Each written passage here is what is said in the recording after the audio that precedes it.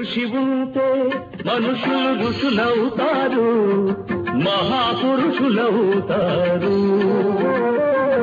తరతరాలకి తరగని వెలుగవుతారు ఇలా వేడుకులవుతారు. ఆ కూజ ఓపెన్ కాదు. అది ఎంత ప్రయత్నం చేసినా కూడా అది కాకపోయేసరికి దాని మీద రాసి ఉంటుంది దాని అడుగున. ఇది ఆ వంశంలో ఉండేటువంటి మహారాణి గారి హారంలోనే దీనికి ఎట్లా తెరవాలనే రహస్యం రాసిందని మళ్ళా ఉంటుంది.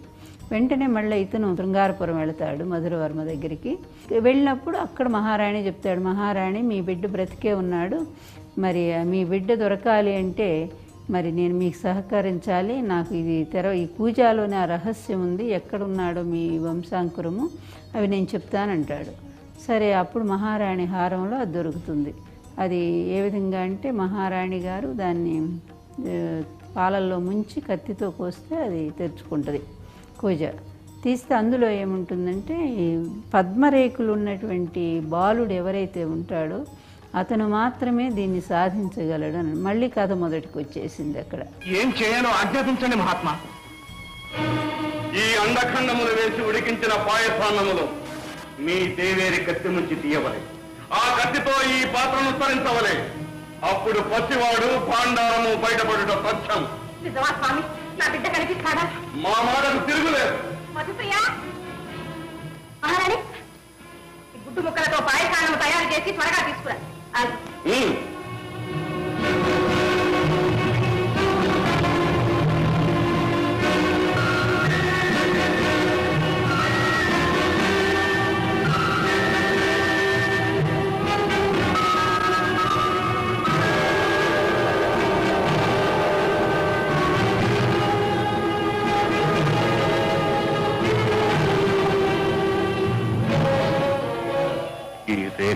హస్తము కలిగిన వారికి ఈ గ్రంథములోని వివరములు కనిపించవు వారు మాత్రమే చదవగలరు.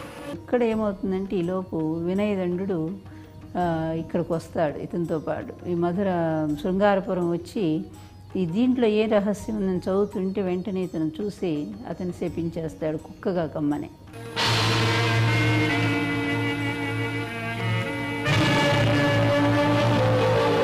కొంచి దొరబడి తిండి దొంగిలించు కుక్క మీద. ఒక మారు బుద్ధి చెప్పిన మరల మా దారి కట్టు వచ్చినవేమి రాక్షసుడా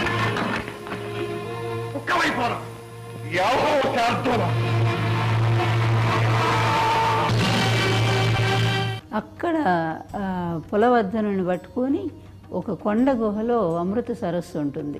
ఆ సరోవరంలో స్నానం చేస్తే తన మామూలు రూపం తనకు వస్తుంది అది తనకు తెలుసు. వెళ్ళి కుక్క రూపంలో ఉండేటువంటి వినయదండు ఆ గుహను పగలగొట్టడానికి ప్రయత్నించి సాధ్యం కాదు.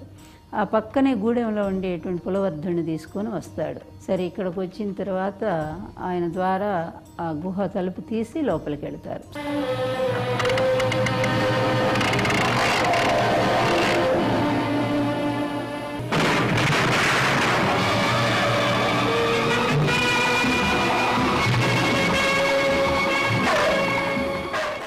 వెంటనే ఈ వినయదండు వెళ్ళి కుక్క రూపంలో ఉన్న వినయదండు అందులో మునగ్గానే తన స్వరూపం వచ్చేస్తుంది.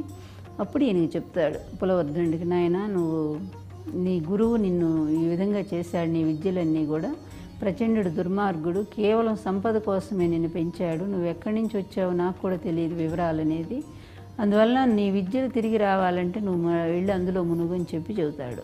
అప్పుడు ఈ పులవర్ధనుడు కూడా అంటే ఎన్టీఆర్ వెళ్ళి అందులో మునిగి వస్తాడు. అతని విద్యలన్నీ మళ్ళీ తిరిగి వచ్చేస్తాయి అన్నమాట.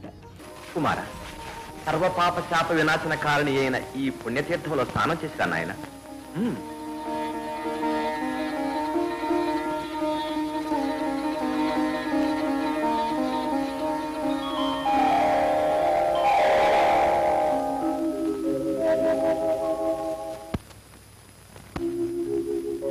వినయదండ మహాశయ.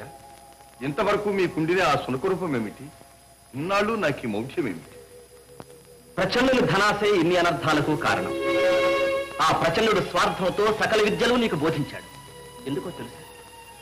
సకల విద్యావేత్త అయిన సాహసవంతునికే గుడిలోని గుడ్లు లభిస్తాయి. వాటి వల్లే లక్ష్మీ భాండారం సిద్ధిస్తుంది. లక్ష్మీ భాండారం స్వార్థం ఉపయోగపడవలసిన ఆ ధనం గురుద్రోహి అయి ప్రచండుడు దక్కించుకోదలిచాడు. గుడ్లు తెచ్చిన నీ వల్ల ప్రయోజనం తీరిందనుకున్నాడు. మోకరిల్లిన నీ తలపై మంత్రదండంతో మొత్తి నీ విద్యలు తిరిగి స్వాహా చేసుకున్నాడు. ఆ దుష్టుడి వల్ల నేను నేను శపించబడ్డాను. అప్పుడు అతని చేతిలో పద్మరేఖ ఉంటుంది. చూస్తాడు వినయదండు. అయితే నీ కోసమే అతను ప్రయత్నం చేస్తున్నాడు. నువ్వు జాగ్రత్తగా ఉండాలి అని చెప్పి చెప్తాడు. ఇంక ఉంటాను గురుదేవ జాగ్రత్తగాని. ఇద్దరు మాట్లాడుకుంటూ వస్తుండేసరికి వెంటనే ఈ పద్మరేఖలు ఉన్నవాడి కోసం ఇతను ఒక యాగం చేస్తాడు. ఆకర్షయ అని చెప్పి ఒక యాగం చేసి ఈ నడుస్తున్నటువంటి పులవర్ధనుడు గాలిలో ఎగురుకుంటూ వెళ్ళిపోయి ఆ ప్రచండుడి దగ్గర పడతాడు. చూస్తే తన శిష్యుడే తను పెంచిన వాడే అప్పుడు ఏదో దొంగ సాకు చెప్పి నాయన పొరపాటైంది అది ఇది అని చెప్పి అతని ద్వారా ఇప్పుడు లక్ష్మీ భాండాగారాన్ని సాధించాలని ప్రయత్నం చేస్తాడు. ఇంతలో ఏమవుతుందంటే ఇప్పుడు ఈ లక్ష్మీ భాండాగారం సంపాదించాలంటే ప్రక్కనున్నటువంటి పురంధర దేశంలో ఉంది ఆ దారి అటుగా పోవాలి. ఈలోపు వినయదండు అక్కడికి వెళ్ళి ఆ మహారాణి చెప్తాడు హేమమాలిని ఆమె. ఈమె కేఆర్ విజయ. ఆమెకి చెప్తాడనమాట అమ్మ ఇట్లా పులవర్ధను నువ్వు పెళ్ళి చేసుకోవాలి. అతని ద్వారా లక్ష్మీ కటాక్షం లక్ష్మీ భాండాగారం సిద్ధిస్తుంది. దానివల్ల రెండు రాజ్యాలకు కూడా సుఖం అవుతాయని చెప్పి చెప్తాడనమాట. అప్పుడు ఆవిడ ఏం చేస్తుందంటే మారు వేషంతో ఈ ఇక్కడికి వస్తుంది శృంగారపురం వస్తుంది. వచ్చి మాలిని అని పేరుతో సేమ్ ద్రౌపదిలాగా ఇక్కడ ఈ పూలు అల్లుతాను మహారాణికి అని చెప్పి చేరుతుంది వీళ్ళ అంతఃపురంలో చేరుతుంది.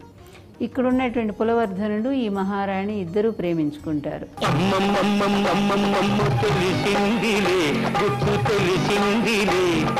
నీ రూపులోన నీ చూపులోన ఏ రాత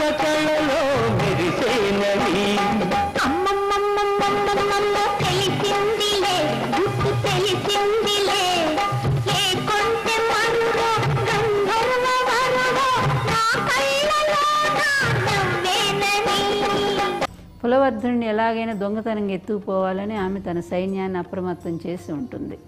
ఈ విధంగా వీళ్ళు లక్ష్మీ భాండాగారం కోసం బయలుదేరినప్పుడు దారిలో ఈ గుడారాలు వేసుకుని ఉంటారు. రాత్రిపూట ఆమె సైనికులు గుడారాలు ముట్టి ముట్టడిస్తారు.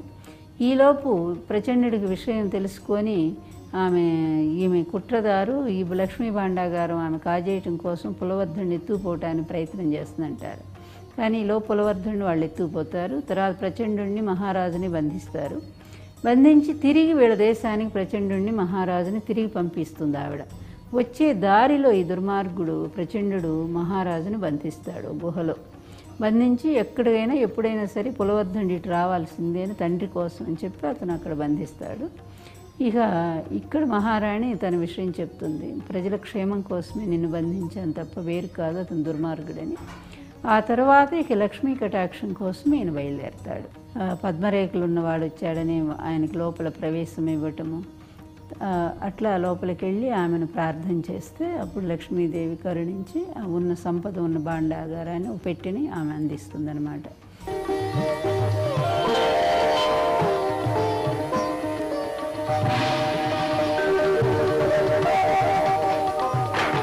కులవర్ధనా నీవు లక్ష్మీ పుత్రుడవా? లక్ష్మీ పతివా?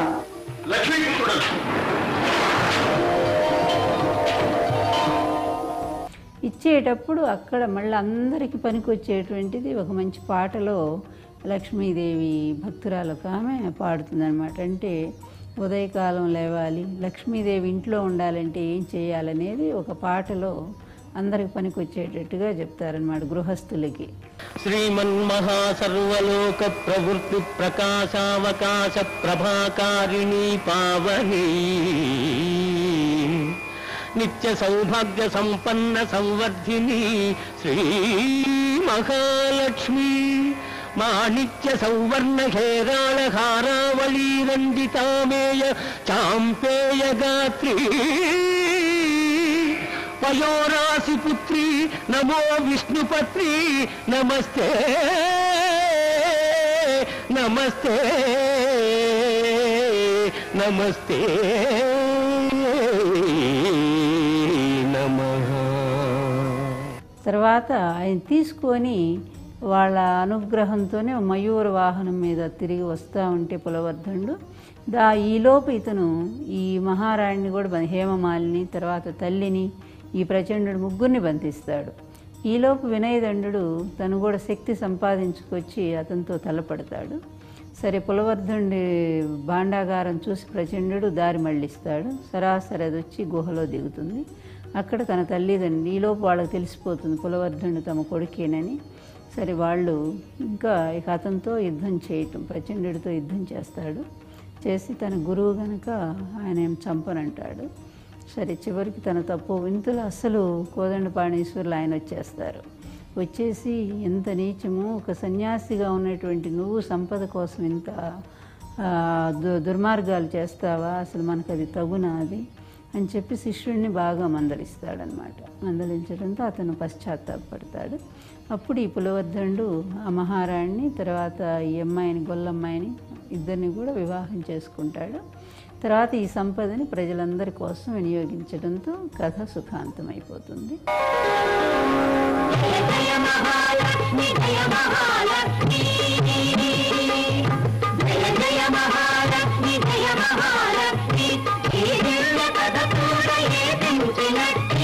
అందరికీ అలరాలు అతి అభోగాలు కథల సౌఖ్యములు సర్వ ఋషి ఉంటే మనుషులు ఋషులవుతారు. మహాపురుషులవుతారు. తరతరాలకి తరగని వెలుగవుతారు. ఇలా వేడుకులవు